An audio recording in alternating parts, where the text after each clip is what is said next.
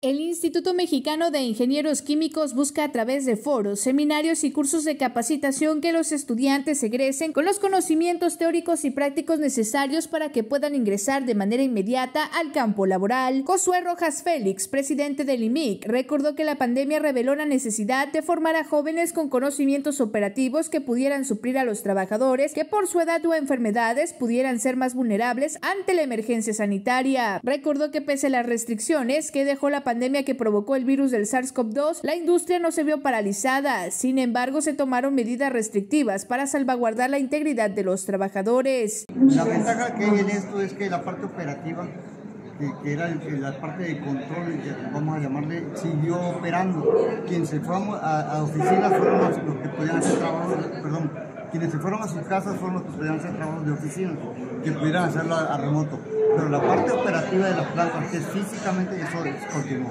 Por otra parte, recordó que los días 13, 14 y 15 de marzo se llevará a cabo el foro denominado México Downstream Oil and Gas Control 2024, en el que se buscará intercambiar conocimientos en temas de seguridad industrial dirigido a profesionales en la materia. Si se requiere y de todos modos los cambios generacionales va enfocado a, proteger más todavía. Y, en este caso no se mencionó mucho lo de las universidades, pero para ellos en la parte de, que tenemos que formar a la gente para que sepan lo que tenemos que proteger. Finalmente refirió que con los proyectos que están en puerta a desarrollarse en el sur sureste del país se requiere de mano de obra altamente calificada, por lo que llamó a los estudiantes a seguir preparándose para que la ciudad pueda seguir ofertando mano de obra altamente calificada. Maite Morales, RTV, más noticias.